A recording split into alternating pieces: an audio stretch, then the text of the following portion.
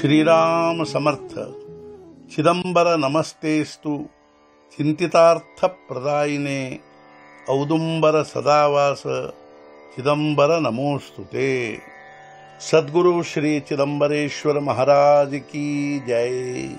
संत श्रेष्ठ दास राजा राम महाराज की जय। जय जय रघुवीर समर्थ। निजात्म बोध ಪ್ರಕರಣ ಹದಿನಾಲ್ಕು. ಜ್ಞಾನ ಲಕ್ಷಣ ವರ್ಣನ. ಸಂಪುಟ ನಾಲ್ಕು. ಅಮಾನಿತ್ವ ಪುರುಷಾಸಿ. ತೋ ದಾನಿಜೆ ಚಿಹ್ನೆ ಐಸಿ ಜ್ಞಾನಾಧಿಕಾರತೆಯಾಸಿ. ಅಹರ್ನಿಶಿ ಜೋಡೋ ನಿಖರ. ಅಮಾನಿತ್ವವುಳ್ಳ ಪುರುಷನಲ್ಲಿ ಈ ಎಲ್ಲ ಲಕ್ಷಣಗಳಿರುವವು ಅವನಲ್ಲಿ. ಜ್ಞಾನಾಧಿಕಾರವಿರುವುದು ಕೇವಲ ಅವನಲ್ಲಿ. ಹಗಲಿರಳು ಕೈ ಮುಗಿದುಕೊಂಡಿರುವರು ಜನರು.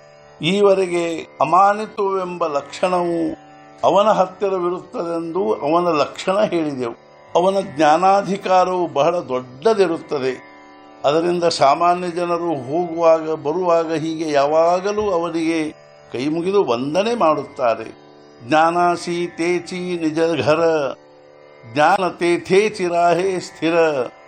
ಸದಾ ತಿಷ್ಠೇನ ಸೋಡಿ ದ್ವಾರ ನಿವಮಿ ಅಂತರತಯಾಚೆ, ಜ್ಞಾನಕ್ಕೆ ಅವನೇ ಮನೆಯಾಗಿರುತ್ತಾನೆ.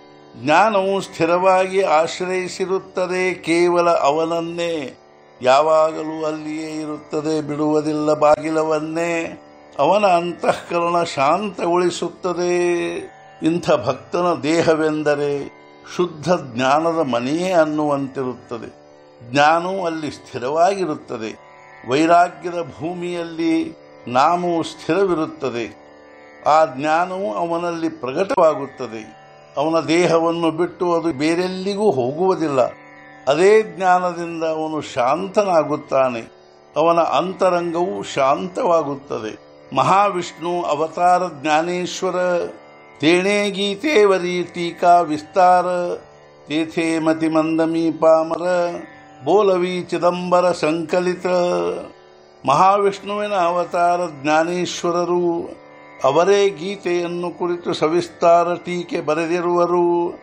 ಅದರಲ್ಲಿ ಮತಿಮಂದನಾನಾದರೂ ಚಿದಂಬರರೇ ಹೇಳಿಸಿರುವರು ಸಂಕ್ಷಿಪ್ತವಾಗಿ ಮಹಾವಿಷ್ಣುವಿನ ಅವತಾರ ಜ್ಞಾನೇಶ್ವರರು ಅವರೇ ಗೀತೆಯನ್ನು ಕುರಿತು ಸವಿಸ್ತಾರ ಟೀಕೆ ಬರೆದಿರುವರು.